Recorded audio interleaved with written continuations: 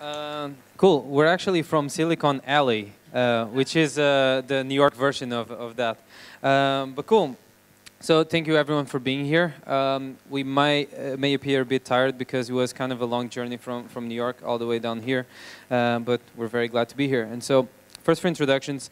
Uh, so my name is Ricardo. Um, I'm the co-founder and CEO of Roger.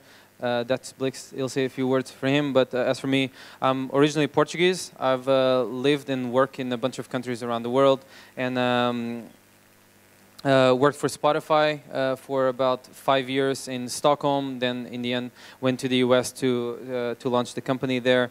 Um, and that's about it. Do you want to say a few words? So I'm Blixt, actually Andreas Blixt, but everybody calls me Blixt. Um, I am Swedish. I uh, I started working with software engineering when I was 15. Um, so and then worked at a lot of different places, but eventually ended up at Spotify for over five years, uh, where I met Ricardo. Uh, we moved over to New York together and started up the engineering office, as Ricardo said. And um, yeah, eventually we started our company together. Uh, so yeah, so then I'm gonna tell a little bit about why we left Spotify and kind of what we're working on. Uh, so this is Roger, and um, Roger is actually tricky to explain, but it's essentially we're trying to build the voice interface uh, for everything. Uh, and the, the sort of the background to that is there's been in, in sort of recent years a lot of uh, developments in, in voice recognition and, and voice technology.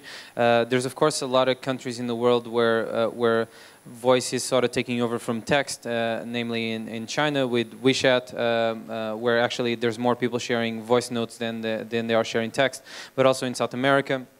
And now the interesting thing though is that that hasn't happened in the US or Europe.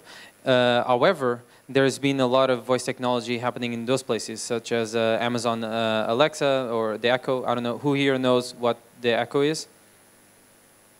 Yep, not a lot, not a lot of people, but essentially the, um, the Amazon Echo is a device that you have at home. It's always connected, uh, and so it's it's magical in the sense that it's it's kind of a new way of interacting with the computer because you don't go there and you tap a button. You just say, Alexa, what's the weather like? And and she just speaks out. And and there's a lot of it has a lot of very good microphones in it, so you can you know you can essentially use it from anywhere in your in your apartment. It will, it, a lot of people use it for controlling their smart home appliances. You know, home automation, lock the doors, and unlock the doors. Uh, Blixt uses it to control the the lights when he when he comes home.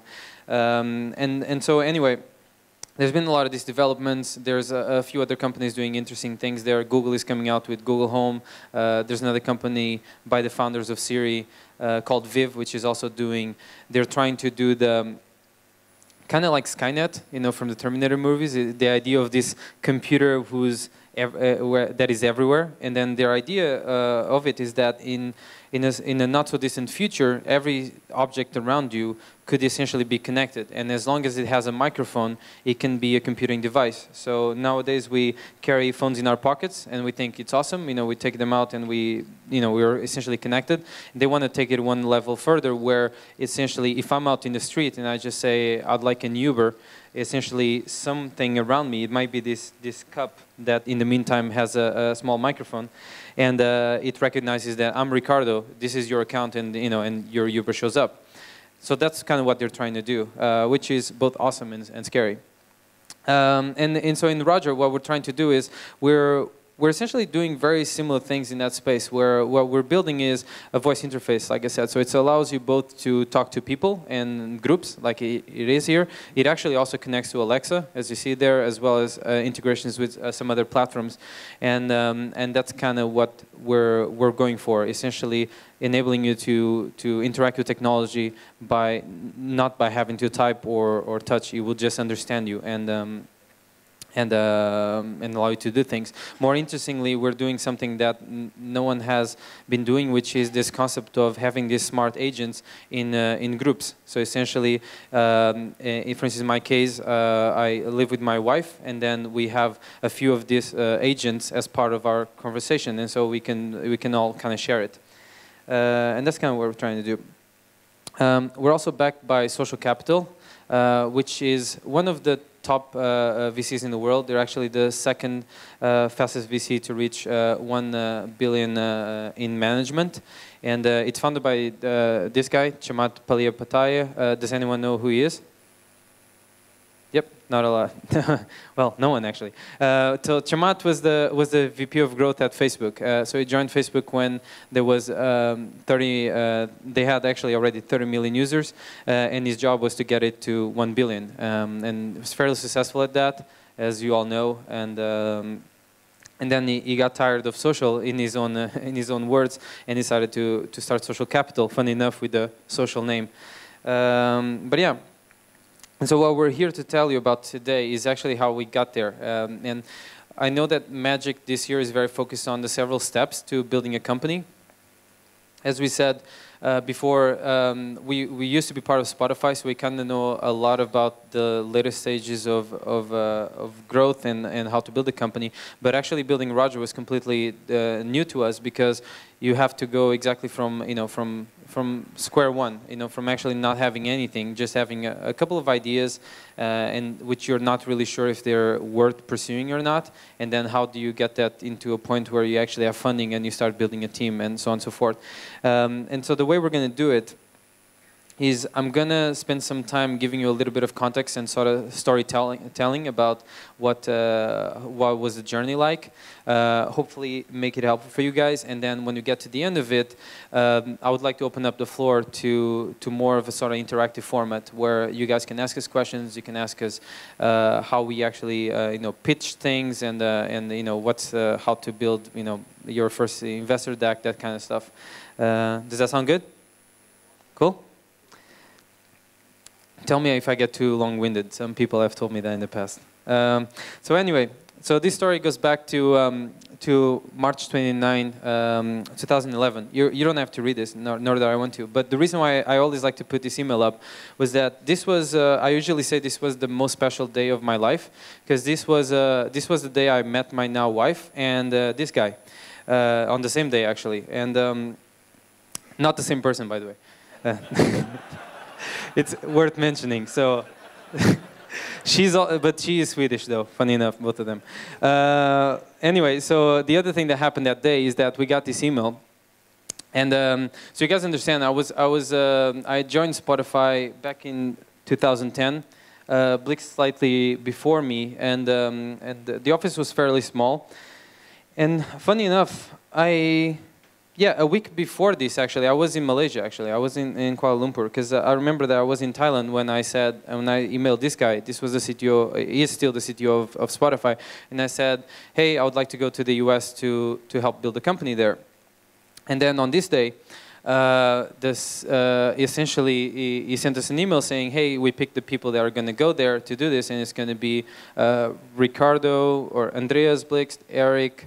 And uh, Ricardo Santos, and um, 30 minutes after I got this email, I uh, went out on the date with my now wife, and I was so stoked, you know, so excited that the first thing I told her was like, "Hey, nice to meet you. By the way, I'm moving to New York," and uh, and so uh, and uh, and you know, life happened and whatever, and in the end, we we did end up going to to New York, and um, and oh yeah, and uh, actually uh, after dinner, actually, I came back to the Spotify office um, with with Ilin, and and the one guy and we we had sushi, I think, for dinner, and then I went to back to the office, and there was one guy at the office working late, and this was about like midnight, and it was this guy.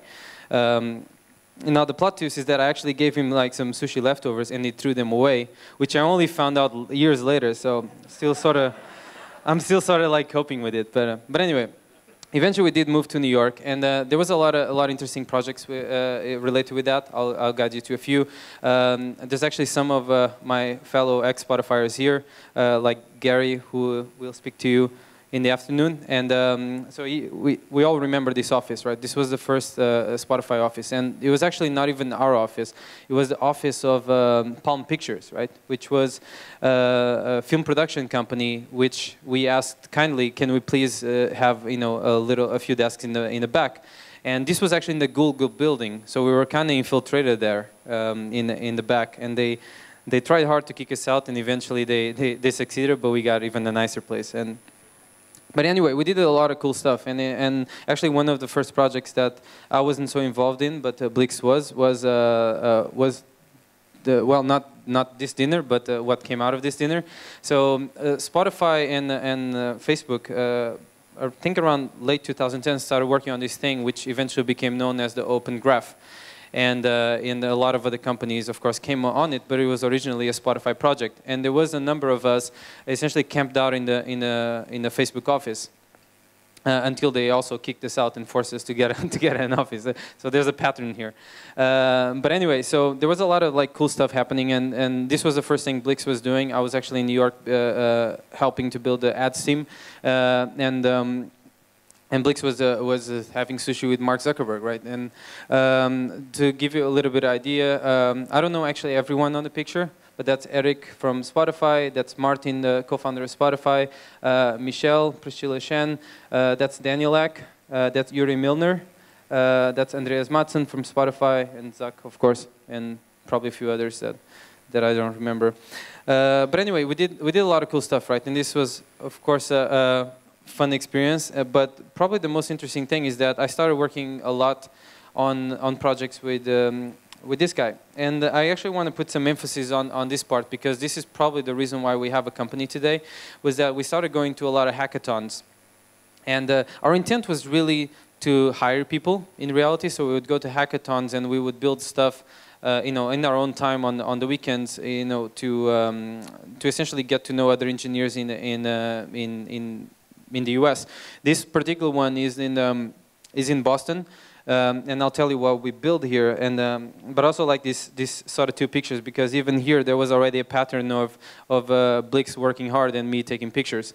Um, but this was uh, this was essentially uh, this was the day after because uh, on this particular weekend we built something which we called Spartify and it was uh, Spotify Party Mode, um, which is still to date a very successful product actually, despite us not maintaining it for like four years. And um, and this was just before demo, and you can see we're tired, but we somehow pulled it through. And, uh, and the reality is that this was kind of this was really fun because we spent about 10 hours building this. Ironically, we were in a party because um, they kicked us out of the venue, and so we had to go work in a in a essentially in a club and we were building a, a party mode for Spotify. So essentially, kind of ironical, right? Because we were in a social context, being completely antisocial, like these two nerds in the corner, like coding. But uh, the reality is that it turned out okay, and then eventually a bunch of press picked up on it, right? And and they. Um, and it was it was more than even the press picking up on it. It was awesome that the this was Sunday, I think, and um, and the day, the Monday, the day after, we got this email, and uh, Oscar was someone in our ad sales uh, team who dealt with um, with Bacardi, and essentially Bacardi wanted to buy Spotify. And um, I cannot talk about values and whatnot, but for us it was really awesome because we essentially built something in like said 10 hours, and we, you know, it felt great because you built something with value, and uh, and there were people that wanted to buy it. Uh, but yeah, but we didn't sell. And the reason why we didn't sell was because, you know, we were, frankly, because we felt, I guess, too cool for it. We had just arrived in the US, you know, we were building, you know, Spotify was so awesome, and frankly, we didn't, we didn't really care. In hindsight, we probably should have sold, but hey, but it, it didn't turn out bad for us either. So, uh, so instead, what did we do? So we continued doing the, doing the, um, growing Spotify. Eventually, the US was done, so we moved on to, to more new and exciting things. Uh, this is our, uh, our first Hong Kong office. Um, you know, because of course we started uh, launching in, in, in Asia, which led into a lot of learnings. You know, like going to places like this is in the Philippines, buying uh, buying phones and trying to understand how people use music. Uh, this is Brazil uh, in a favela, actually doing you know sort of breakout groups and trying to understand a little bit better how um, uh, you know how Spotify could grow.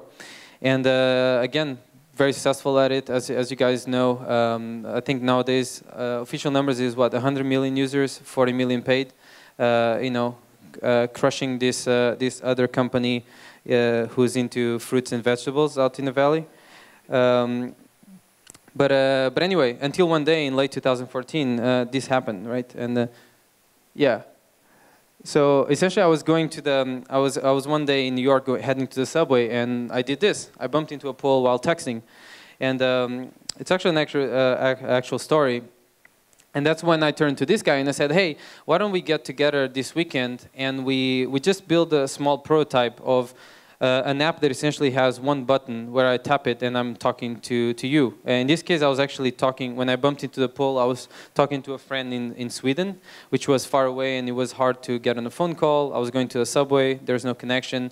Uh, and so we started building it. And so we brought, and I actually told him that I wanted to be the model of Spotify, right? We build it for 10 hours or, or, or over a weekend, then we kind of never look at it again. Um, so that's what we did right? Uh, this is, well, uh, I guess not too shabby, but uh, it's uh, this is where I live in New York, uh, and uh, that's that's us coding, right? That was that was Roger, and um, that's what we built. This was the first version of Roger, and. and the thing, the interesting thing about Roger is that we immediately failed at our premise of of essentially you building it for 10 hours and never touching it again. Because essentially we built it and uh, we we started using it immediately. And uh, we i remember we went for dinner that night and we had oh wouldn't it be great if it did this and it, if it did that? And we had the kind of freedom to do it because again it wasn't our day-to-day job. It was just like a hobby we were doing on the side. Um, and so eventually this question popped up right? You know why don't you build it for real? Um, and uh, and in, this was actually a conversation I had with the, with, the, with the VC early on, which said, hey, you guys can, can build things, right? You, in our case, I, I, I no longer so much, but I used to be a developer. Blixt is so uh, very much a developer, so we didn't really have that, that much excuses. So often um, founders, you know, complain about not getting money, and uh, and you know, you always kind of try to, I guess, find reasons why things aren't happening, and uh, you know, oh, if only I had this, if only I had that. And, uh, and the reality is that in this case, actually, this guy um, gave us a push. You know, said, "Why don't you just do it? You know, what's kind of preventing you?" And, and that's what we did. So this was our last day at Spotify. Actually, this was a Christmas party, I think, and um, in uh, 2014, and it was our last day. And then we were off, right, and then trying to build something for real. And uh, we didn't have money, right? Uh, like I said, we didn't. We didn't uh, at this point. We didn't need money. We just needed to build something, and uh, you know, uh, on the sort of user-facing side, you know, our friends are starting to pick up on it. We, you know, we had to start getting a, a borrowing a lot of devices to actually do testing, uh, doing. Sorry. Calendar reminders. Let me just close Chrome.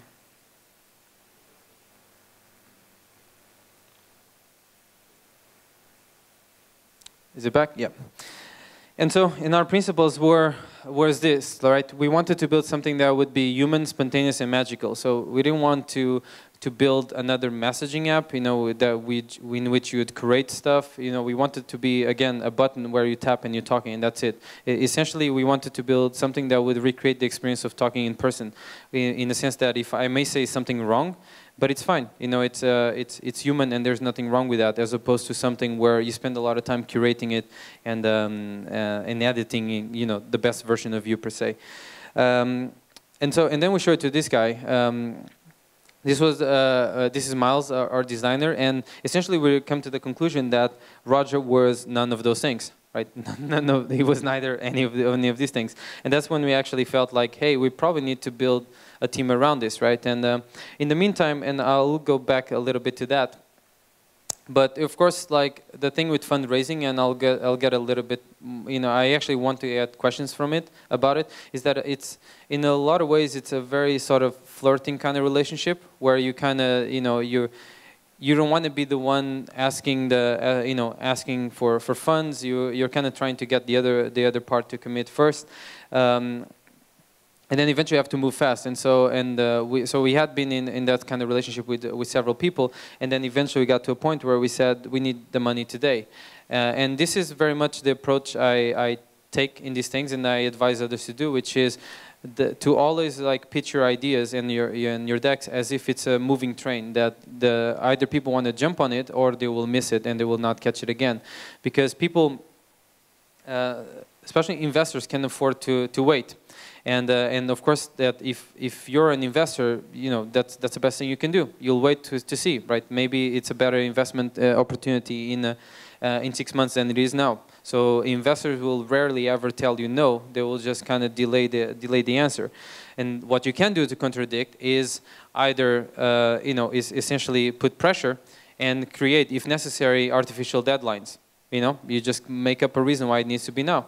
And in our in our case, actually, it was well, we needed to hire a team, and if we don't, you know, they're gonna, go away.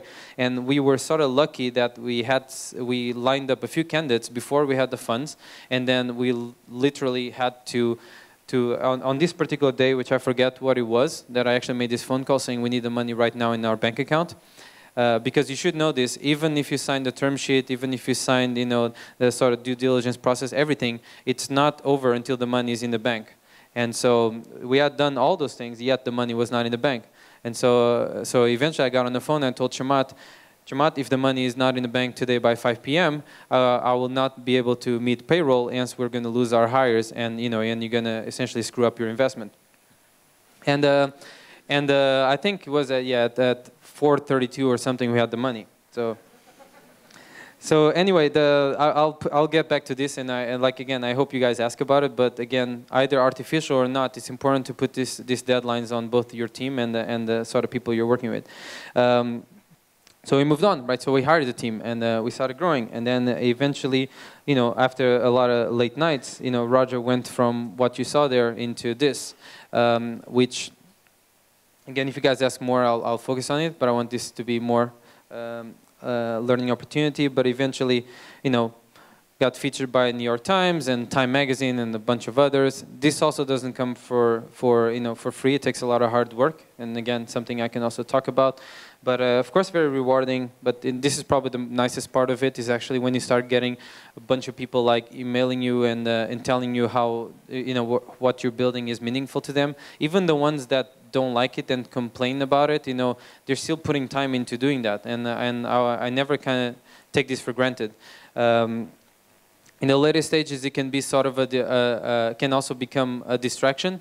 But again, it, it feels nice, again, when you go from zero to having something, you know, when these things start uh, happening.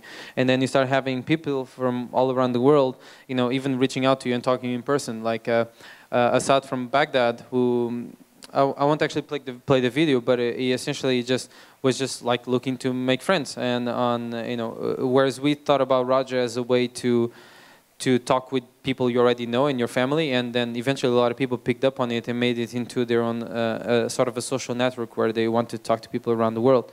That's another very interesting thing, sort of emergent behaviors that you didn't think about. But that's topic for another session or maybe in the coaching sessions later in the day if you guys want to. Um, and then, you know, up into the right, right? That's kind of what you start focusing on. And this, in this specific chart, uh, it's it's conversation hours, and this is how it evolved, uh, sort of you know from very flat into into growing quite a lot, uh, and th that's probably our most important metric, which is how um, how, how, many hours a day like do people speak, you know, in in total like, and uh, it was of course very awesome when at the very early days when you crossed 24 right? When you was, there was essentially more hours of conversation per day than you could theoretically listen to, and uh, and now, I don't. I think we're close to a thousand per day. I think. Um, I think so. I don't know. And this is all essentially if you stack up all the little seconds and whatnot that that that, that bulk up. Um, and that's it. But like I said, that's topic for for the the sessions later in the day because uh, we wanted more to focus on the zero to to first funding and so on and so forth. Um, so that, that was a story, right? So, so now uh, I would like to use the rest of the time then to focus on on how can we, uh, you know, how can this be helpful to you guys, right? And uh, what kind of um, what kind of questions do you guys have about the fundraising process and and so forth? Oh wow, oh, there you go. Yeah. So how long did the fundraising process take, and uh, what was my uh, or our expectation, and what it turned out? So it, it can be long, uh, right? And it depends a lot on, it also depends a lot on, on, on you, uh, on yourself. Like, it, it always takes longer than people think, right? Even when, like I said, when you get a term sheet, the process, uh, the process you get a term sheet, uh, you might get, get several offers, but then eventually sign one. and now the tricky thing for, for entrepreneurs is that the term sheet is binding to you and not to the, not to the, to the investor. Um, which I always thought it was a bit messed up, but that's just the, sort of the rules of the game. Uh, what that means is that when you sign a term sheet, you cannot uh, continue shopping for other deals, right? So if I decide to sign this deal, the investor might still pull off, but you cannot, right? Or at least you cannot for about 30 days, I think, on average. So, so once you sign the term sheet, you're kind of you the the intent is to to complete the deal.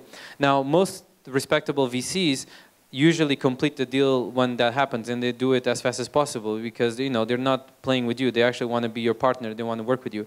If you if you have a, a shadier one you know the, it might actually happen that that they pull out. And again you cannot for 30 days even if they pull out you cannot shop for another and they can go on to do other things right? Um, but it, but yeah it takes i think from the point that you you sign the term sheet, if it's a reputable VC, it, things tend to move fast. You will have uh, a lot of lawyers, like uh, you know, discussing, you know, your lawyers discussing with the VC lawyers. Another interesting thing is that traditionally you pay the other lawyers as well, which also sounds a bit bizarre, but that's just that's just the way it is. It, even be, even more bizarre because they actually get equity out of that money, right? Because you're paying the lawyers with the money they're about to give you, so their money converts into into equity you just lost the money, right? So, so it's uh, so it's kind of interesting, right? But uh, hey, uh, that's the rules of the game, I guess. And um, and anyway, lawyers bill by the hour, right? So lawyers love to love to stall things and to be be picky about about things. I see.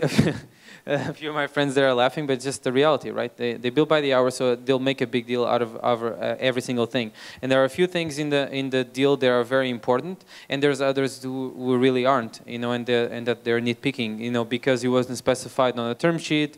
Uh, one guy will say that in the in the valley they usually do this. The other guy saying in New York the deals they done before was like the other, and so eventually they can actually screw up the deal uh, if if you let them do. So that's your job as well as an entrepreneur and a CEO is to manage manage the, the lawyer. So it's your choice. Lawyers are there to advise you.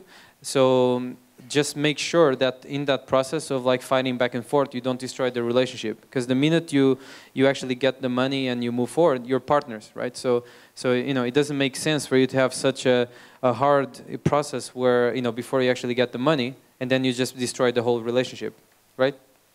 So going back to the original question, uh, sourcing uh, sourcing the investors can take a lot of time. You have to take a lot of meetings. A lot of people say you know you have to take hundred meetings and then you get a um, or you know you get usually better through introductions. Uh, you might get yes, you might get no, you might get no answer most often, um, and that in itself takes a lot of time. And then from the point on that you that you actually sign, you want to move as fast as possible, uh, you know, and push your lawyers every single day to to to get closer. And even after it's all signed, again, the money is not in the bank, and they will stall it as much as they can. But you know, but that's when you come up with arbitrary deadlines and and you you push them. Yep.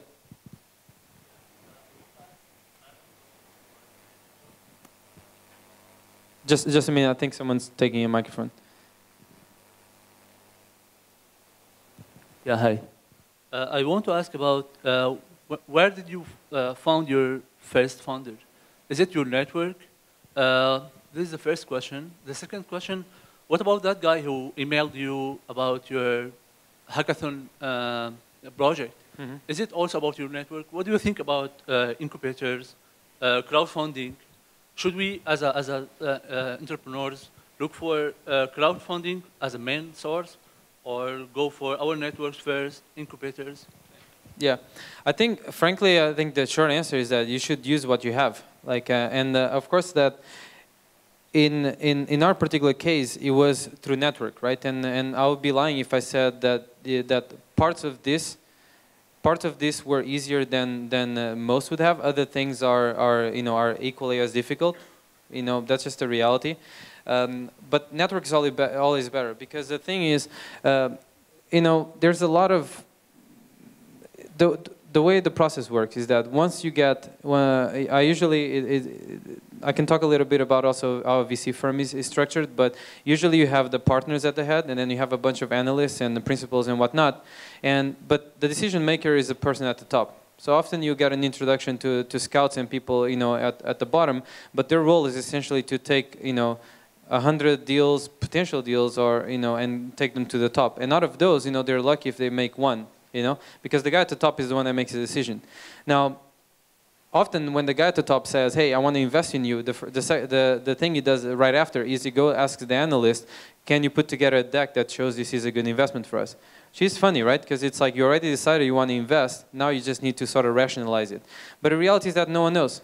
The investor doesn't know. No one, no one really knows. You know, hey, this space is hot. You know, this team is experienced. Whatever. You know, that's all sort of. We're all just kind of guessing. You know, there's a few things that are good indicators that this might be a success. But at the end of the day, it's always like kind of a, a, a, bit of a leap of faith, right? And, and sort of trust.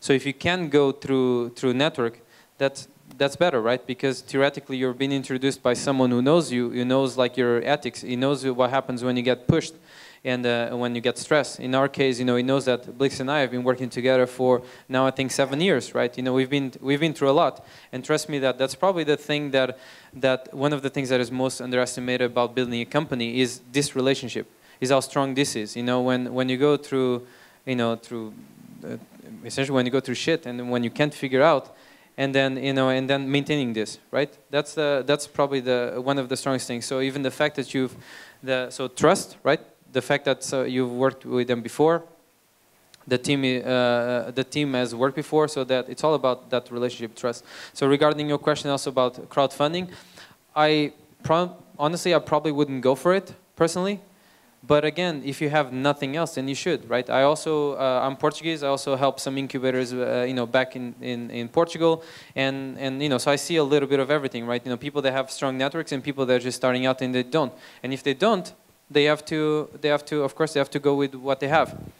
But I also can tell you that a lot of people that don't have networks just simply make up their networks, right? When I came to the U.S., I knew absolutely no one there you know, and then you just kind of hustle. Like, uh, um, um, yeah, I mean, uh, I remember that yesterday we met uh, someone uh, from NUS in Singapore. You know, um, Ram is nodding because he knows who he's talking about. You know, was a student from Singapore, and I we've met her like two months ago in in uh, in San Francisco, and she was, you know, she essentially knew no one. No, she was completely new. She was in, she was interning, you know, in in the valley with uh, Tilt, I think, and she she went to, to a, she found her way to a, to a party by Golden Gate Ventures, and she went to every single person in the party, like every single, literally every single person, hearing their life story. You know, essentially like asking questions, just asking, asking, you know, about, about them, about their background, and, and being impressed. To a point that we're like, uh, at some point we're thinking, wait, why, why are you asking these things? You know, this is getting kind of bizarre. But she was so awesome in that sense. You know, she had you know she had no ego at all. She was just go you know willing to learn. You know, and that's that's why everyone walked away. You know, saying, "Oh wow, she's she's amazing, right?" And and I think that if you would drop her in any context, you know, she would figure out her network, right? It takes time, but essentially, you know, you'd go after. So I think people like that are really you know probably have an easier time. You know, either because you're just too naive, you know, or young, and so you don't care and just ask, or because you know, or because you know, I don't know. Yeah. Hi, hi, Ricardo. Yeah, uh, my question is, uh, by the way, my name is Aidil. Uh, mm -hmm. How did you guys survive prior to funding? How do you guys meet payroll? Mm -hmm. um, yeah, I mean, well, short answer is we didn't. Uh, we, we, we um, like I said, the first for for a long time, Roger was something we did on the side, right? So we had a day job. Um, by the way, be careful with that if you're building companies, because depending on what contract you have, you know, you may not be able to build things on the side. We weren't, uh, we weren't able either. It's just that when you, when you actually decide to leave, you can talk to your HR department and ask them pretty please to, uh, to, you know, to not sue you because you were working on something on the side. Um, but that's how we did it, right? We started building it before, right? And the thing is that when you go to to to actually fundraise and to make this into your day-to-day job, you have to have something, you know. And a deck is something, but not not too much, you know. But you know, again, it's like a checklist, right? That's that's the best way I can describe to people. Like imagine that there's a checklist of as the team worked uh, together before. Do they have experience from the area? Do they have a technical co-founder or so tech, you know some technical background? Do they have a prototype? Do they have whatever? And essentially what an investor is looking at is like how many of these boxes can I tick, right? And so, so essentially that's what you want to do, right? You want to you want to figure out a way if if you really need the money before you can commit to it 100, you know, 100%, how can I tick more of these boxes, right? So that when I do go go raise, I'm in a very good position, not only to get funding, but to even negotiate the terms that I'm getting the, the funding, right? That's what that's what we did. In our case, and actually going back to the early question, it actually our fundraising took too long. Exactly, not because we wanted it sooner, because we actually we were the ones stalling it. Because we, we felt, well, if we only get like another month, we can probably come back with a way stronger thing and get, to you know, get more money at better conditions and so on and so forth. So Yeah. I have a question uh, for Blixt, actually. Mm-hmm. So you showed a slide about users reaching out to you, thanking you that this was built, and, and, and, po- and quite possibly with more feature suggestions. How do you, as, and, and Blixt, you're technical, and you're both technical, and you're more of a product person, you're more of a tech person. How do you balance the, the, on one hand, you have various feature suggestions or product uh, suggestions from users. Uh, on the other hand, you have features that you want to build and design that you think are awesome. Uh, on another hand, you have features and designs that your competitors or other awesome apps have built. So you have basically these constant feeds of suggestions of product features or designs that, that, that you've been asked to incorporate into your product. How do you triage that? How do you decide which ones to go for? How do you make, how do you, how do you prioritize? Yeah, I think uh, it's important to collect feedback, but in the end, it's uh, it's a balance between intuition and data, basically. And early on, you you have to go way more for intuition than data because you won't have much data. Um, and and the truth is, you you gotta stay focused. So user feedback is important. You may discover something, but actually, 99% of the time, it's something you've thought about, and either you're already doing it or you're you decided not to do it. Uh, but I, I do think it's important to still have a user feedback channel because, like I said, 1% of the time you actually do find something very, very interesting. And um, what we did, we had a channel where people could actually talk to us directly via the Roger app itself. So, so you'd get a lot of people talking about how they were using the app with their, with their family or friends or colleagues. And we actually discovered a few interesting things there, like, like uh, a guy called Howard in, in Canada who, um, who uses it in the car all the time with his wife. And he, he uh, wanted Bluetooth support. So we, we saw what we could do about that. Sometimes it's actually just a few hours of work to make someone happy, and, and who knows where that's going to lead. Um, and also, he, uh, he's a teacher, so he would uh, wanted to be able to use Roger to talk to parents, and you discover really interesting things that way. But uh, again, I think it's, it's intuition and data. So, so if we can't rationalize, like, okay, Howard is the only person in the whole world going to use this, then we can't do it. Um, but if we think that, yeah, this could be useful to everyone, then, then go for it. Hello, I'm GP Chua from uh, Two Nice. We are into the from farm to the food uh, to the food supply chain. Question to you is: Is VC uh, from hell or is VC somebody from heaven? And can you share the challenges of handling them? Second question is: If you have to redo all this again, would you get money for VC? Thank you. Um, that's a good question. Uh, I think, I mean, uh, in our case, uh, I think we had positive experiences. Like I said, the uh, the VC is going to be your partner, like whether you like it or not. I mean, often they will, uh, uh, you know, depending on what deal you get, they'll get board seats, they'll get board control, all these things. Um, again, in our case, we stalled the process to our advantage, so we we uh, that's not the case for us. But regardless.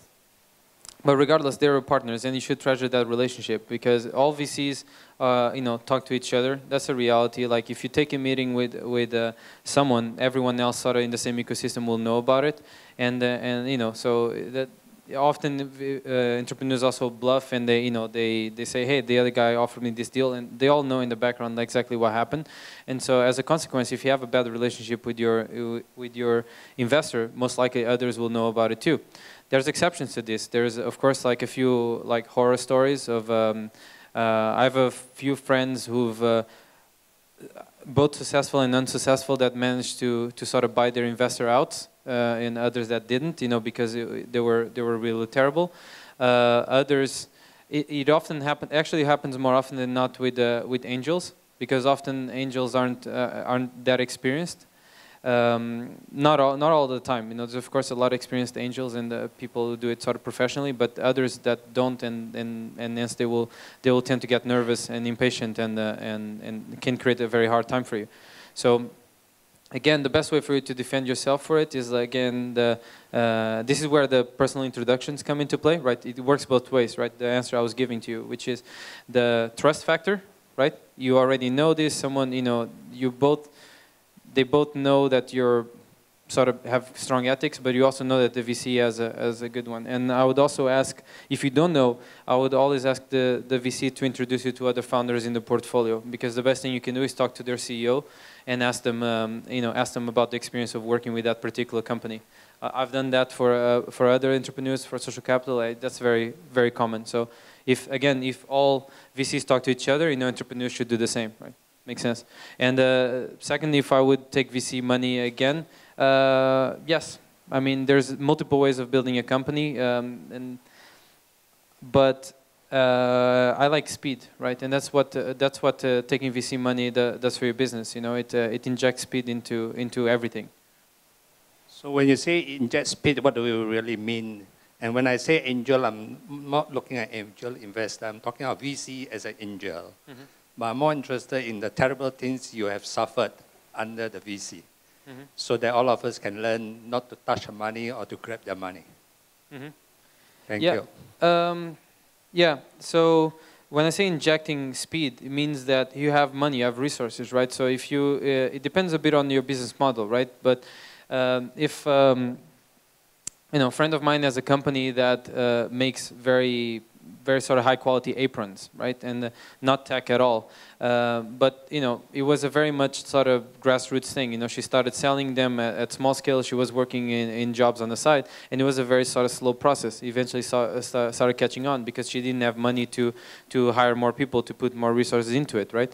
Uh, when you get VC money, it's it's it's it's a loan, right? You're getting a lot of money that you can invest up front, and in a sense you know turbocharge your, your business. So it's not the it's not that the vc adds speed to you it's just that the money allows you to do things uh, faster like now as opposed to waiting until you do have the money. Um, and pains that i had under under um, under vcs like to be honest like not so much in my case. Uh, we we tend to be uh, to over communicate and and as a consequence, you know, um, if you keep it fairly uh, transparent, then uh, then I think, and again, if you did all that due diligence before of picking the right person, you're less likely to have. But of course, there's moments, right? There's there's things that there's times that I that uh, that I wish that certain things had gone you know different ways or they have more support in this particular way or you know but it, it's I, I frankly think that if you did your homework well and if there's any and, and that is one thing I think we did very good, then you're less likely to have those. Yeah. Thank you. Yeah. Hi, uh, I'm Rizwan. I have uh, two questions. Basically, uh, one, uh, uh, the first question is uh, how you deal with the technology limitation. Maybe you have your team have something want to do.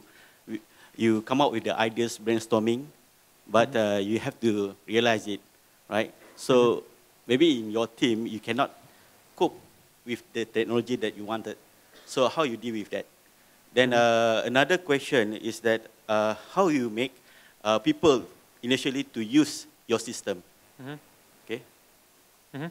Cool. Right. So regarding technology, of course, you're always under time constraint. You wanna you wanna like prove something as fast as possible. So I, I think it's always go with a hypothesis that you want to prove uh, and build the very smallest prototype that can prove it. And by prototype, I also mean like hack something together in your existing app. Um, so that's how you avoid technology limitations. Like uh, a lot of people make the mistake of go having an idea that's great and then building it completely.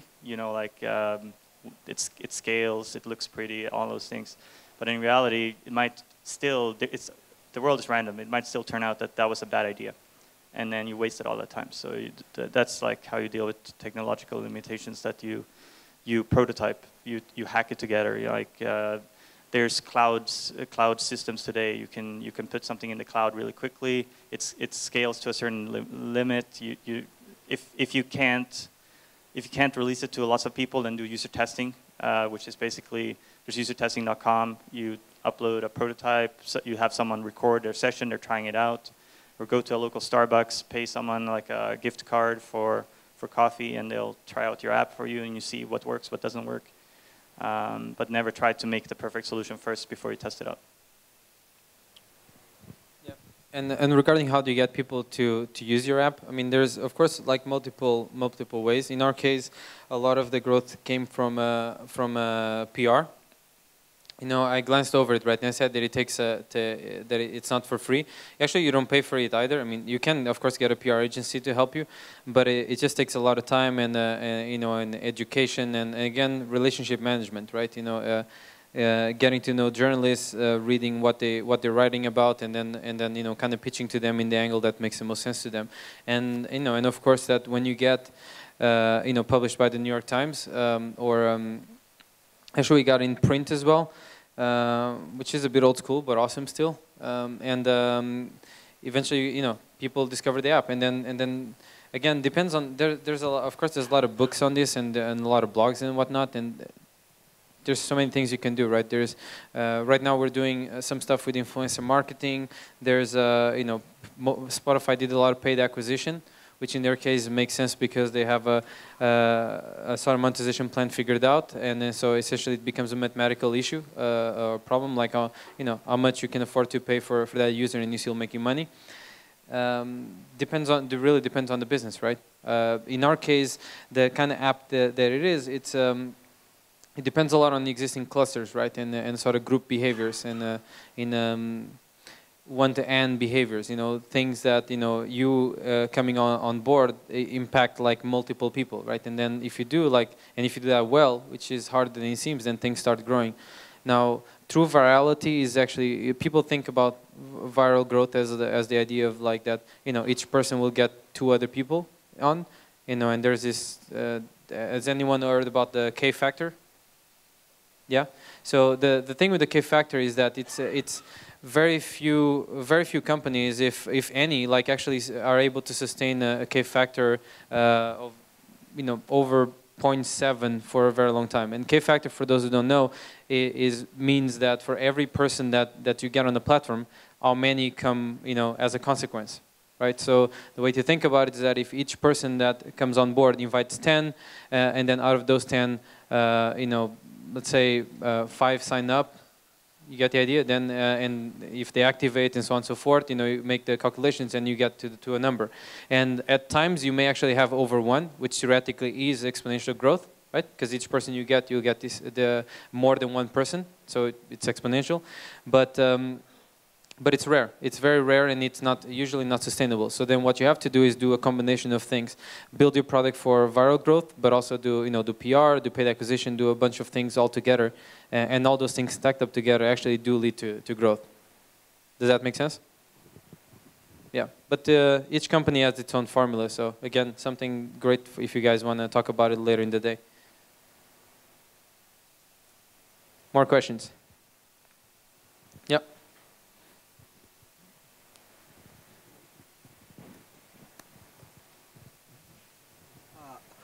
Hi, uh, my name is Jans. I have small questions uh, related to the. Um, just I was thinking, what is your backup plan with you fail, for example?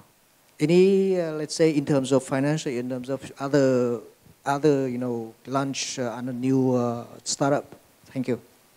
Yeah, I think, frankly, I think that it's. Um, you can't. The thing is that you cannot walk into something, you know, thinking about the plan B you know, uh, the reality is that if you if you spend uh, and you cannot uh, equally you cannot predict all the problems that you're going to have, and that's that I can tell you is a mistake that I've done you know way too often. And the the problem that happens with that is that eventually you stop committing to things because you have too many open doors. And if you have too many open doors, you have too many orphan features, you have too much things things open, and you're not very strong at, at them, uh, at any of them.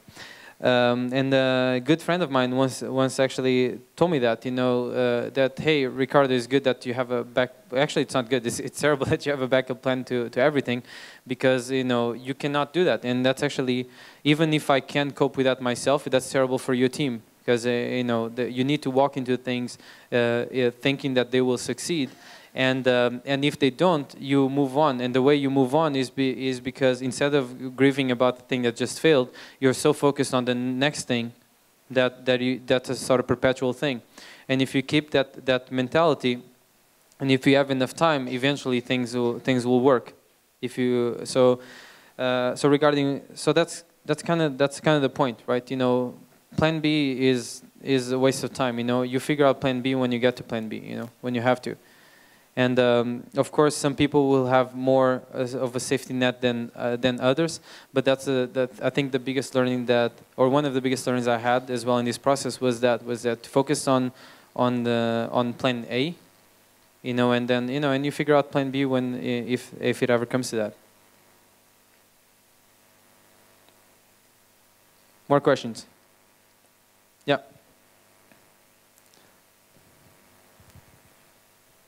Hi, uh, my name is Aizidin. Uh, I have one question. Uh, you start your app in USA, right? How Mhm. you go globally? How you reach your first user in Baghdad? Asad? hmm Yeah. Um, so that's actually the thing we're doing with influencer marketing, which is, which is. Um, so the pre- PR that we got was very focused on the U.S., right? Uh, but there's a. Funny enough, we did get a collateral of like you know certain pockets. You know, you saw that uh, that user was in Iraq, for instance. So there's a few pockets of people that every now and then pick up on things. We had uh, you know big spikes in in Turkey, for instance. We actually have uh, interesting uh, group of users in Malaysia as well, and we didn't really go after them. They just kind of came as a collateral, right? And and that was just because the product was built that way. Um, but then specifically when you, but like I said, that in itself will not will not work by itself. So the answer I gave before about the conjunction of things, when you actually wanted to make it work, is uh, you know you find partners or people to work with in that particular market. So in certain markets we're we're talking to to carriers, um, uh, but we're, and we're also doing stuff with local influencers, like for instance in Brazil, working with uh, with YouTube celebrities. You know, they have large followings in that specific language, and uh, you know, and working with them to promote to promote Roger. But yeah, but it's always local people essentially, and it helps going there essentially. Yeah. Hello, uh, my name is Ying Wei. I'm from SmartPeep. Uh, thanks a lot for sharing your interesting story. Um, I have two questions. Um, first one is, um, can you give us uh, your best advices, like do's and don'ts when we go for pitching, talking to investors? Mhm. Okay. Second question, have you ever turned down any pitching opportunity and why? Thank you. Uh, so what was the second question? Um, have you ever uh, turned turned down any pitching opportunities? Like you have an opportunity talking to an investor, raise funds, but you turn down that opportunity. You, you don't want to go. Uh, can you tell us why? If you have done that before. Yeah. Thank you. Uh, yeah. So yeah, that's that's fun. Um, it's actually a fun fun question. So best advice. So again, uh, I I used to say a lot that uh, that that uh, raising money is a lot like uh, it's a lot like dating.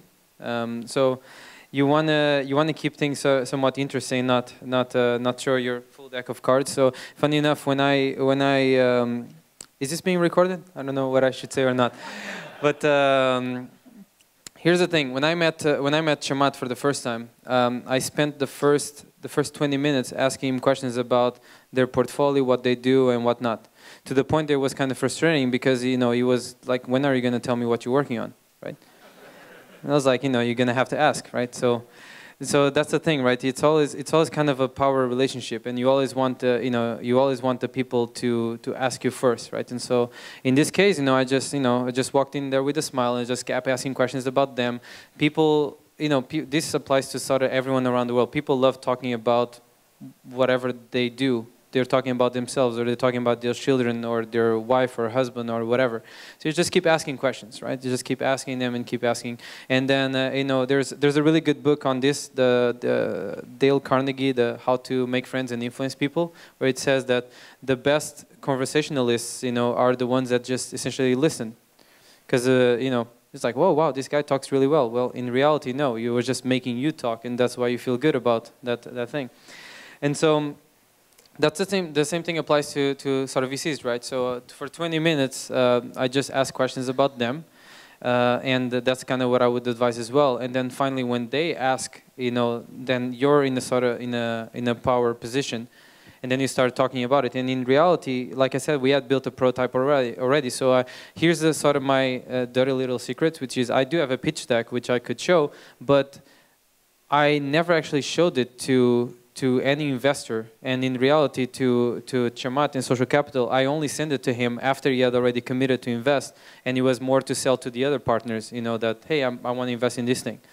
And uh, the reason was because we had the prototype, right? And we, and we spent a lot of time talking and, and talking about, you know, I ask, ask a lot of questions about Facebook, how this thing happened, how that thing happened, and then eventually I figured, th that's the other thing. The more you listen, the more you know, how do I tell my story in a way that this particular person that's listening find it interesting. If you're if you're spending too much time talking yourself, you have no you know you have no clue.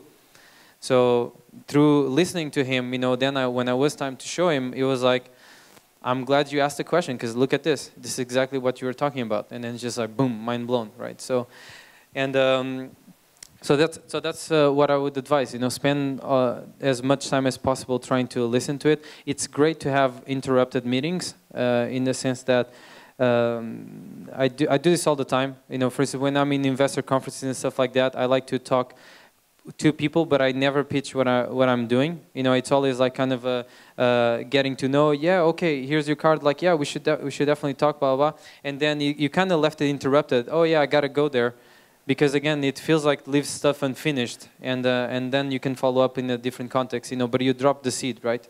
And that's kind of what uh, what I would uh, would advise you know so don't show your immediately your deck of cards. Play smart you know be be interesting. That's one but there's probably others. I, th I think we might be out of time right? But uh, like I said there's we're going to be in the coaching session later today and, um, and I realize this is a very large group, so it's hard to do actually breakout sessions because I actually was curious to know what you guys are working on. So please come to, come to that, show us what you're doing, and hopefully we can help you uh, do something. And we're also looking forward to learning with you. So thank you.